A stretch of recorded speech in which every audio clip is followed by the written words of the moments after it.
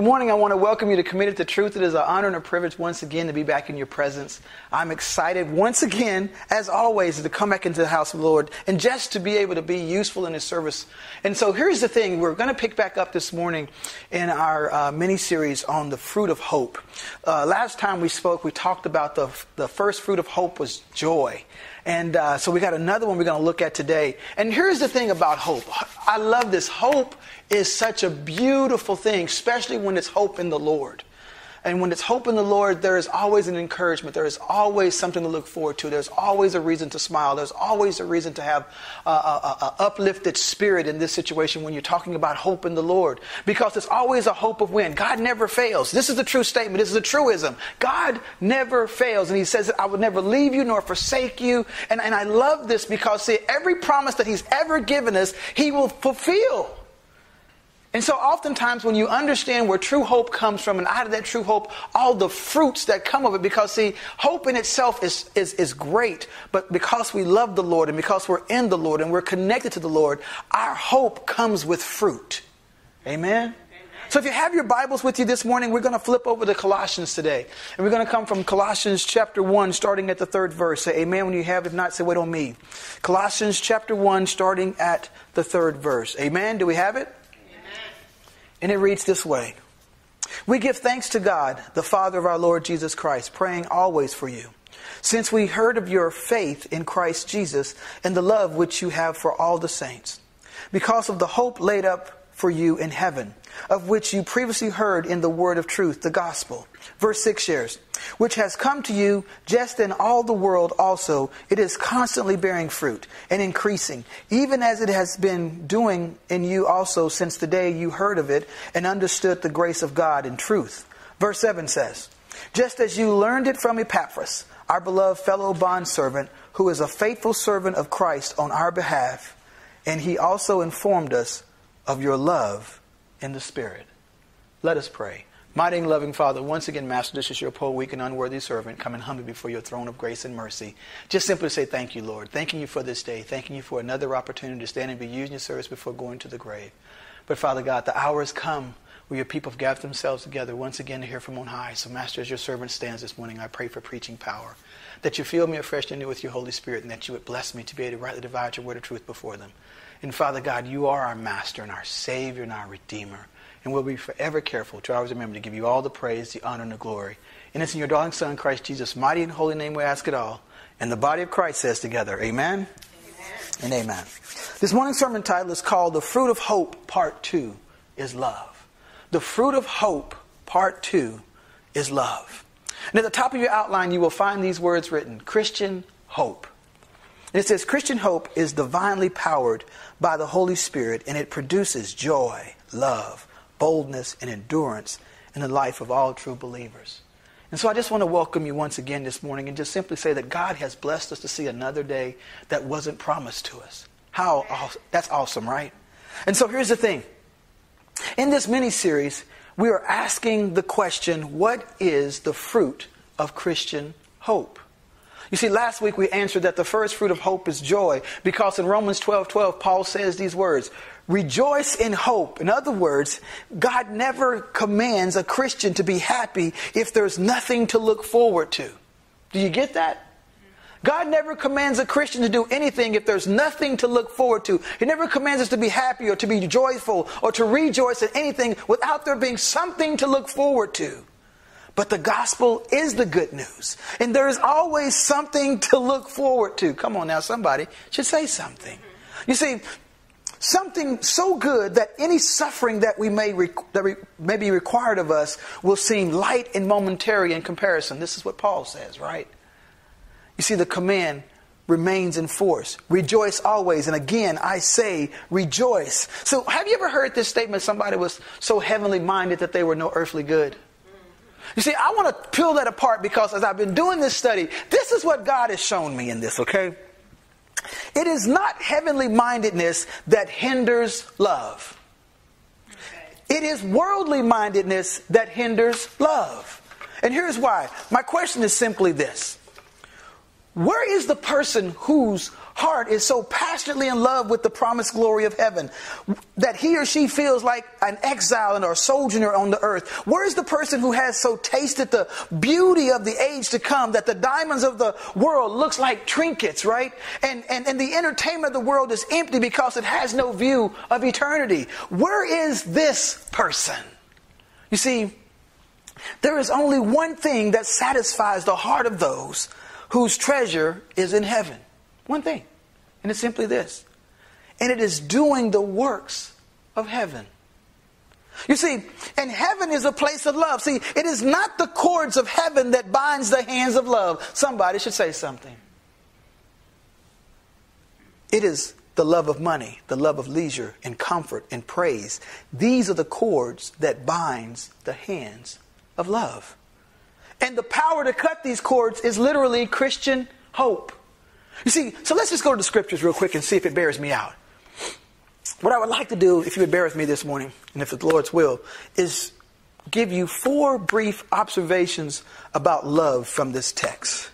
And then tie them all together in a way that will give us guidance for our lives, and then illustrate the main point from some biblical examples of people whose love was the fruit of hope.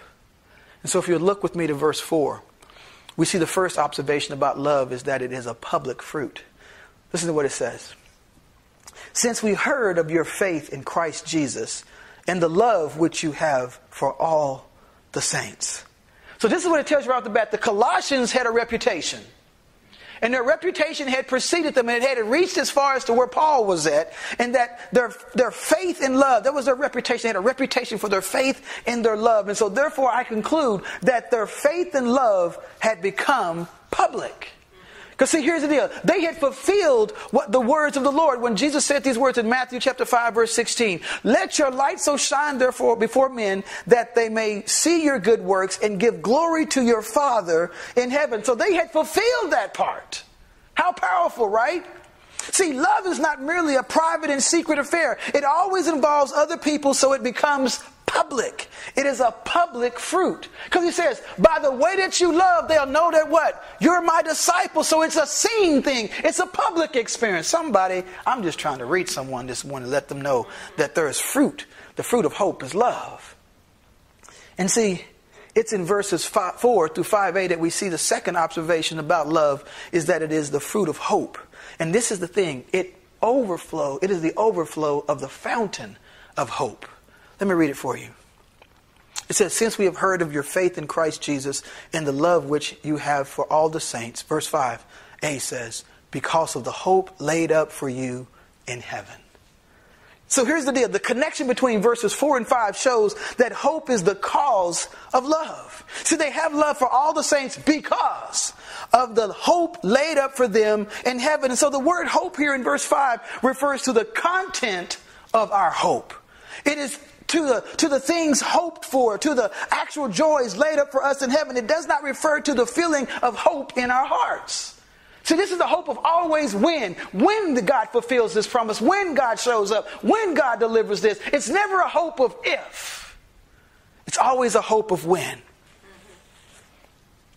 But if you ask how a distant future benefit causes love in the present, the answer is that the hope laid up for us in heaven.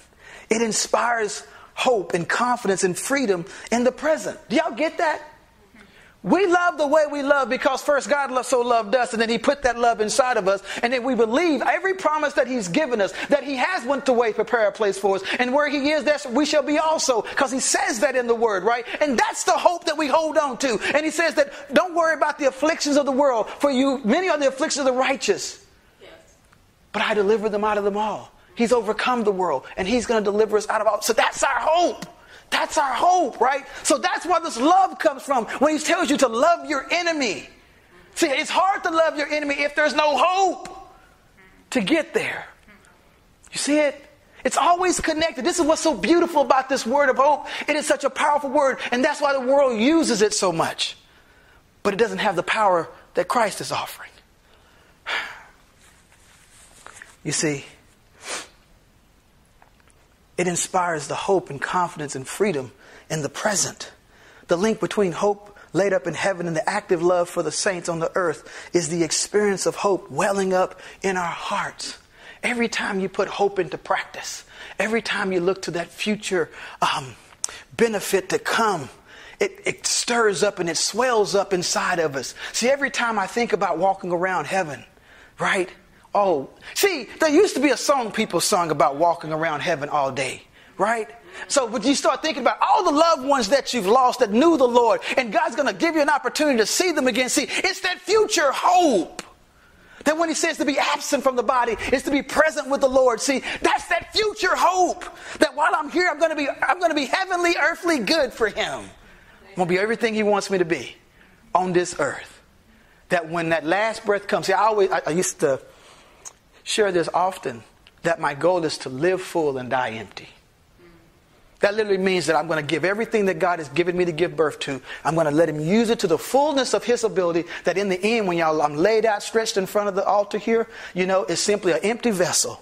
All that Patrick was and ever was going to be has already been left out and written on the hearts and minds of those maybe the sitting there coming to say goodbye. They're final goodbyes to me, right? But it's not a final goodbye if you know the Lord. It's just, I'll see you soon. Come on now. I'm just trying to encourage somebody this morning. You see, this is what makes this so beautiful. And it's in verses 5b to 6a that we find the, the third observation is that love is a fruit of the gospel. And it says this of which you previously heard in the word of truth, the gospel, which has come to you just as in all the world also. It is constantly bearing fruit and increasing, even as it has been doing in you also. And so here's the beauty of it from day from the day you heard and understood the grace of God in truth. The gospel is bearing fruit and growing wherever it is preached. Wherever it is preached also among the Colossians. So when Paul hears that there is faith and love flourishing among the Colossians, he sees it not only as evidence of the power of hope, but also as evidence of the power of the gospel. So here's the thing love is a fruit of hope, and love is also a fruit of the gospel. And it is this simple, and it, is this, and it is simple to understand because verse 6b says it this way. Since the day you heard of it and understood the grace of God in truth. So here's the deal. We should keep this in mind whenever we share the gospel. It is a message of promises from God offered to people who is willing to stop hoping in the promises of the world and will start hoping in the promises of God. Somebody should say something. See, God never fails. He, he never lies either. He says, I'm not a God, I'm not a man that I would lie. This is not who he is.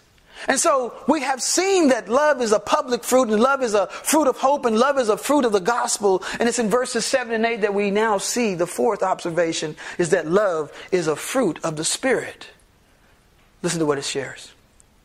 Just as you learned it from Epaphras, our beloved fellow bondservant, who is a faithful servant of Christ on our behalf, and he has also informed us of your love in the Spirit.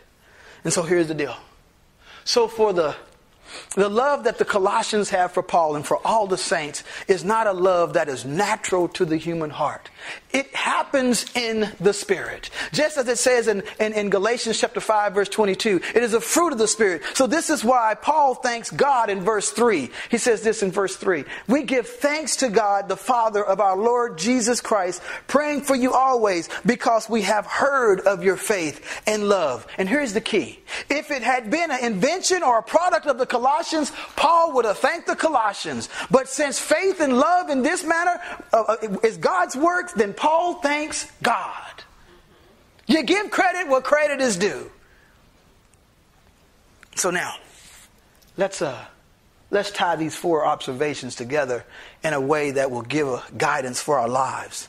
You see, if, uh, if our goal is to bear the public fruit of love, and if we want to live in a way that will visibly honor God, the text directs us to do three things.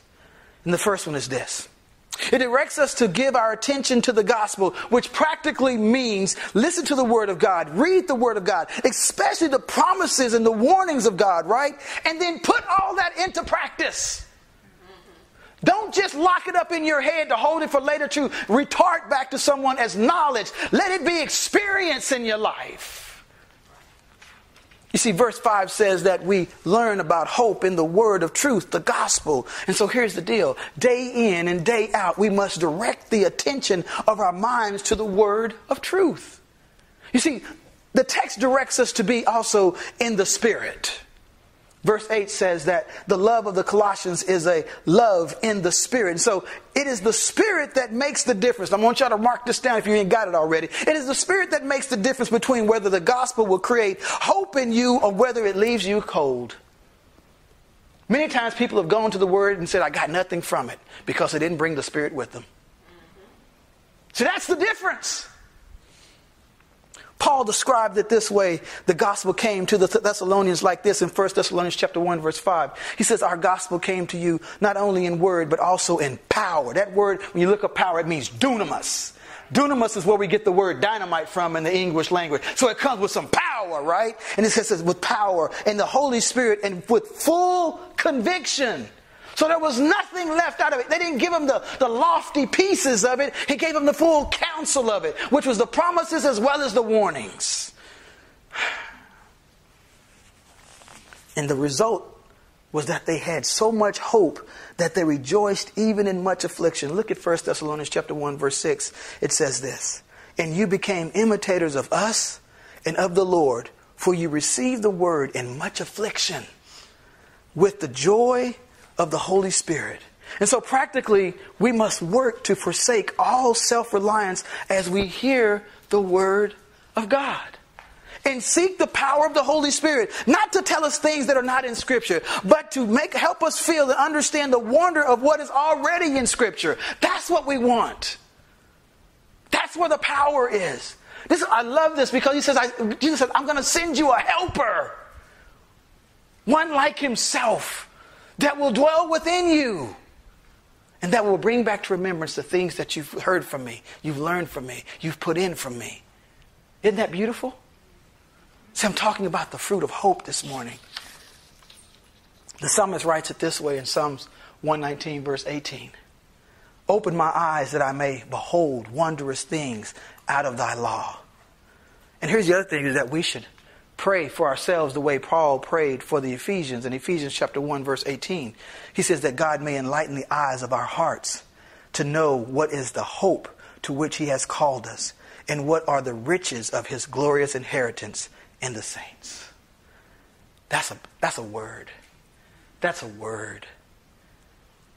And let's look at this. This third thing the text directs us to do if we want to produce the fruit of love is to set our hearts on the hope laid up for us in heaven. If you look over in Colossians chapter 3, verses 1 and 2, you'll find these words. If then you have been raised with Christ, seek the things that are above, where Christ is seated at the right hand of God. Set your mind on the things that are above and not on the things that are on the earth. In other words, as you read or hear the Word of God and as you rely on the supernatural work of the Holy Spirit, you should consciously transfer your affections off the world and onto the hope laid up for you in heaven. Somebody should say something. You see, I believe this is what it means in Philippians chapter 2, verse 12 to 13, when it says, Work out your salvation, for it is God at work in you, both to will and to do for his good pleasure. You see, we, we need to direct our direct the attention of our mind day and night to the word of God's promises and seek all humility for the help of the Holy Spirit to see the wonder of what is really there. See, one of the most powerful things, most people want to go to the Bible and read it like it's war and peace. But it's not. It's where you go to meet a friend. It's where you go to meet your Savior. It's where you go and you step into His presence. And if you're approaching it that way out of a relationship, not out of a possession. See, War and Peace is a book you can possess. The Bible is one that you can have a relationship with. And when you approach it that way, it changes how you experience the experience. You see, your affections of the world starts to fall away. In 1 Peter chapter 1 verse 13 he says this, set your hope fully on the grace that is coming to you at the revelation of Jesus Christ. And it's when you go to the word is where he starts to reveal himself. When you start to read and you start to study and you start to meditate and you start to pray and you start to ask God and His Holy Spirit to come in and give you understanding, give you wisdom, give you what you need to fully take away what He wants you to understand and have at this time. Because He may bring you back six years from now reading that same passage of Scripture again. And because you've grown so much in Him, He gives you a new perspective, another facet of that same lens. Powerful. War and peace don't do that, by the way. And this love will transfer and change everything. See, and by the grace of God, the result will be the visible fruit of love. Now, here's what I mean by that we will be more patient, more kind. We will be less jealous, less boastful, less arrogant, less rude. We will not just seek our own advancement, but will strive to do to others what we would have them do to ourselves. Somebody should say something. And we will be less irritable. And we won't be so prone to keep an account of wrongs or return evil for evil. See, this I'm talking about when you have this fruit of love that's visible in your heart and your life because you've lived yourself and left yourself in that word. You will be inclined to bear all things and endure all things for the sake of your neighbor. You will not speak about your neighbor's faults without first going to your neighbor yourselves. You will return, you will return good for evil. Somebody. And you will use and we will use our discretionary time to not to maximize our fleeting comforts by devising ways to be a blessing to, law, to the lost and suffering. That's what we'll do with that extra time. Instead of binge watching Netflix, Huh?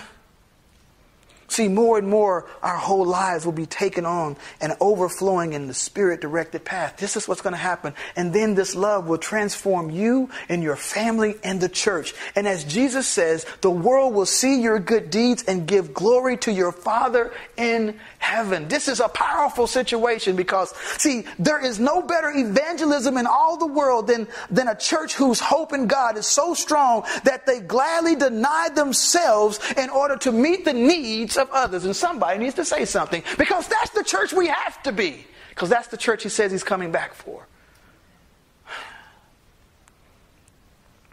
You see, we've now we've made our four observations about love from the text is that it is a public fruit, it is a fruit of hope, and it is a fruit of the gospel, and it is a fruit of the spirit. And we have tied these together in a way that give some practical guidance for our lives, that we give attention to the promises of God's Word, right? That we prayerfully rely on the Holy Spirit, and that we set our affections on the hope laid up for us in heaven. And in the power of that hope, we walk in love. Real love. That 1 Corinthians chapter 13 verses 4 through 8a love. Not that ooey gooey feeling of love but real love, the love that comes from your will and not from the object being loved. See, that's what we're talking about.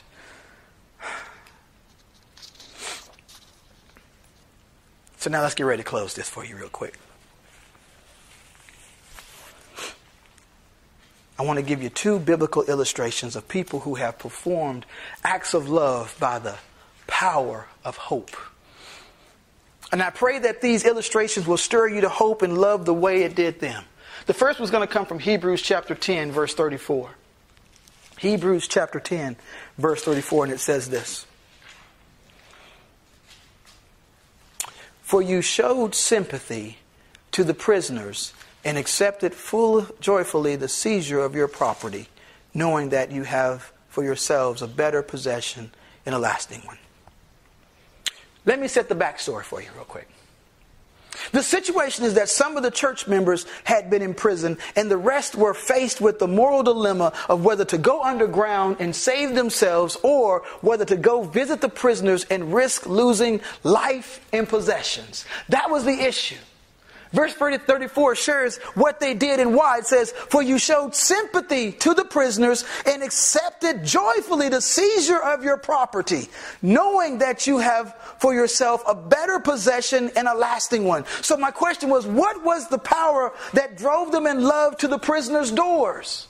It was simply this, is that they knew that they had a better possession and a lasting one coming. It was the hope of that that drove them to love. It was that hope. Or to put it another way, it was heavenly mindedness that broke the power of worldly love of furniture, houses, and security. And it freed the saints to risk their lives in love. Powerful. See, that's the word. That's who we're supposed to be. We ain't dying like that. We ain't risking like that.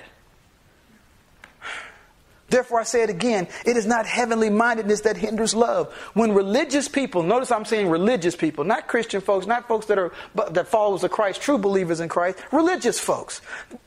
When religious people fail to love, it is not because they have fallen in love with heaven, it's but because they are still in love with the world. Because you can't tell me you're so heavenly minded that you're no earthly good.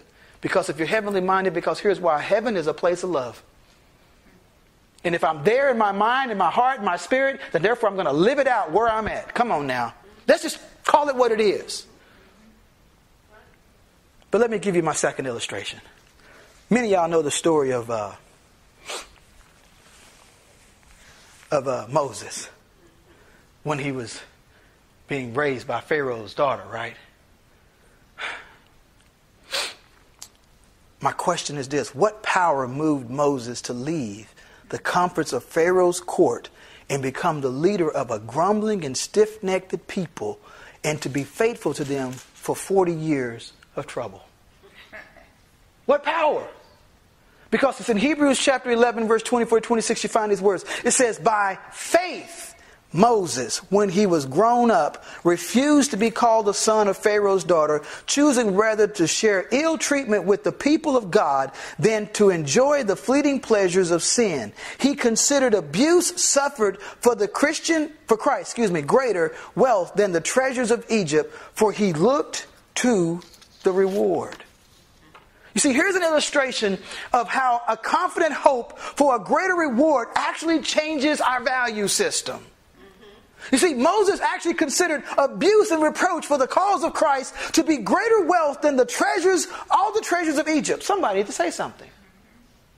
You see, he was utterly out of step with the world around him, and he had been transformed by the renewing of his mind. And you might ask the question, how? Look at verse 26, it tells you how. Because he looked to the reward. Did y'all see it? He looked to a future promise. He had set his minds on the great promises of God. And so let it be said again that it is not heavenly mindedness that binds the hands of love. On the contrary, it is the worldly desire for the, for the pleasures and, and, and treasures of Egypt.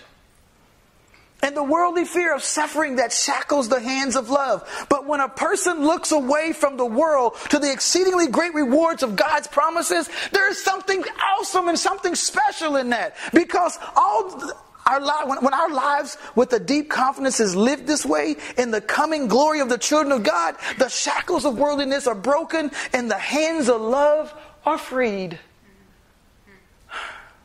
And all that comes from the hope, the future hope of what's to come. Wow. Let us close in prayer.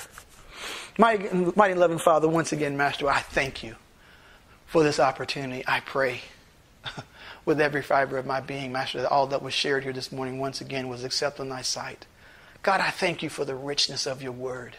I thank you for always bringing it to life and making it so simple and so revealing. God, I pray that all that has heard it today, whether online or wherever, that God, it fell on fertile, fertile soils of hearts and minds, God. And that we would become the church that you've created us to be, that you've called us to be, that we are to be in your Son. And God, we just love you and we praise you.